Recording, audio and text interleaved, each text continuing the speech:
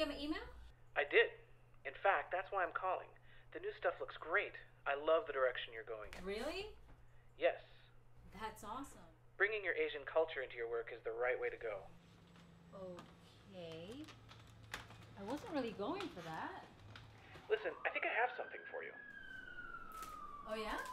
Yeah, there's a group show coming up. Lots of publishers, potential clients, bunch of magazine guys and gals I know.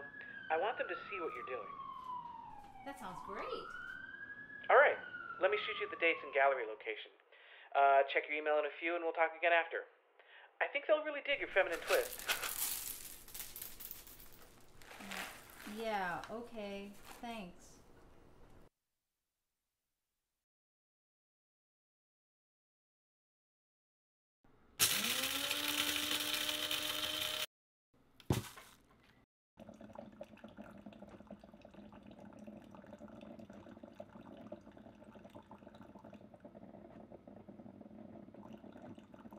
Hi, Adam. I just got your email.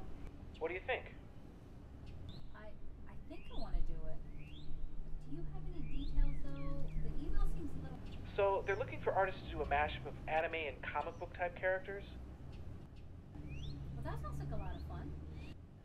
Yeah, I figure you're Asian, so you probably like anime.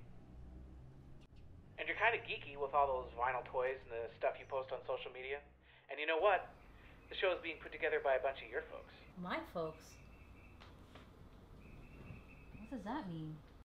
The curator is Oriental too. He's done some great work over the years, and you can relate to him. He was once a starving artist. Actually, I'm okay. I'm not starving. Sure, sure. And I didn't mean it that way. It's a good opportunity. Probably is. Okay, I'll let them know that you're in and give them your information. They should reach out to you in the next couple of days. Talk soon.